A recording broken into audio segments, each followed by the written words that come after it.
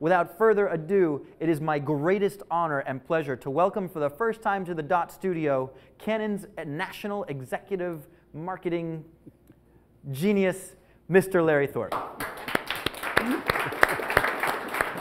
Welcome, Thanks for joining us, Larry. Pleasure. We really appreciate you coming Pleasure. out here and sharing some time with us. Oh, I love booster chairs. I, I, I actually do too. so, uh, our interview will be peppered now and again with, With- questions coming in from the internet.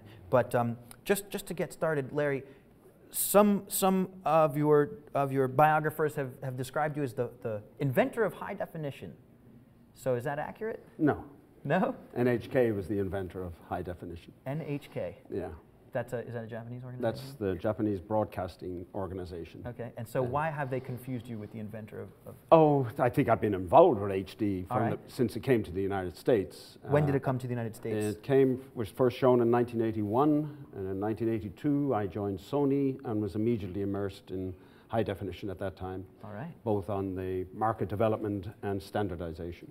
okay. And I grew white on that effort. So when you say standardization, uh, when we talk about high definition, I'm, I'm used to basically two standards. You know, we've got the 1080s, we've got the 720s. That's all your design? No, I was part of a committee of Okay. about a thousand people All right. hammering out those standards over 15 years.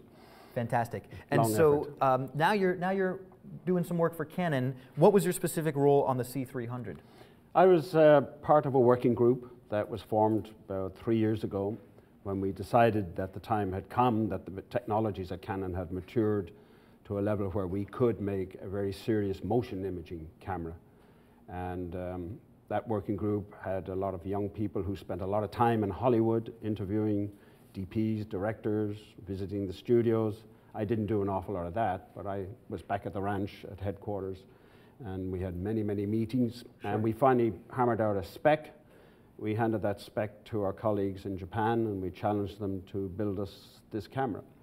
And they did. Are you And- pleased? Oh, thrilled. All right. This, this is the first time um, a camera specified entirely by the marketing company United States was built by the factory. Normally they don't do that, okay. but they did here. Fantastic. So um, I, I made some allusions to, to this the sensor on this camera. Tell me, this is actually a, a 4K sensor. Yes. Tell me, tell me the, the tell me the impact of that. What does it mean to be a 4K sensor? Well, it's a 4K in terms of its total pixel count. It's 4,206 horizontally. It's 2,340 vertically. Okay. That's a lot of pixels, and inside that you could have a perfect 4096 by 2160, which is a, a 4K standard. Okay.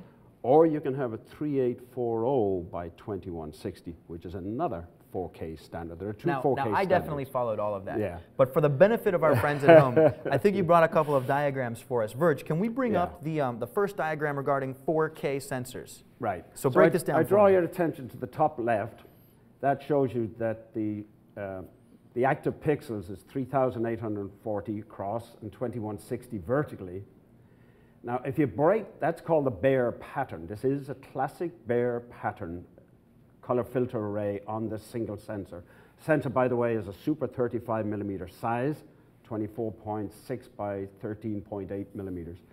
If you break that Bayer pattern apart, as I, did, I do there, uh, you will see that the red has 1920 by 1080 pixels. The blue has the same. And these are the sampling structures of the HD standard for 1080 line. The green, however, is 1920 horizontally, but twice as many vertically, 2160. What we decided to do with this was, okay, we've got a 4K sensor, but we're not going to make a 4K camera. We're going to make an HD camera. We're going to make a terrific HD camera. So instead of debayering to get the color components, we have a very novel readout, a parallel readout system where we suck out the blue directly, 1920 by 1080, the red directly, 1920 by 1080, and then we break out the green as two 1920s by 1080. So coming out of the sensor are four wires, 444 or G1, G2, B. Then we add the two Gs, and that's the magic of the sensor. These two Gs, when added together, we extend the dynamic range, we extend the bit depth, we extend the sensitivity, but most important because they're offset by a half a pixel horizontally and vertically, we eliminate aliasing and we're able to elevate the green resolution with no aliasing. So you sort of have, um, with the greens, almost like uh, out of phase. Yeah, one, because of the half pixel offset, the, there's a phase reversal in the sidebands that cause aliasing. Okay. They just cancel each other. And now you have noise reduction. Perfectly clean. Well, it's not noise, it's aliasing. Aliasing. The, the, the jaggies that you get when you, you hit a detail in, in the scene. So that, of course, because uh, lumens is, Luma is made up of 70% green, that beautiful clean green transfers directly to the Luma. So that's responsible for the, the low light. Well, no, it's responsible for the very high resolution. We, we start with 444 green, All red, right. green, blue. No debayering artifacts, no aliasing in the green, so we have an extremely clean 444 high definition, equal components. Then we process them in the traditional way, all the gamma correction and color correction, everything. Then we finally matrix to 422 uh, to record on the, on the card. So you've got a 4K sensor Yeah, in the camera. right. You've spoken to Hollywood for three years. Some of my friends would ask, why don't we have a 4K recorder yet? Because, um, as you know, we, we, we come in in 2011 with our first motion imaging camera. There's a lot of other manufacturers have been out there for a half a dozen years. We decided step one, and this is step one of a master plan that we have for the, quite the foreseeable future. Um, we're going to hit the ground running by diving into a marketplace that's thriving worldwide, and that's high definition. There is 3K, 4K, 5K out there, but it's not a big business yet. It's coming, and we're watching it like a hawk.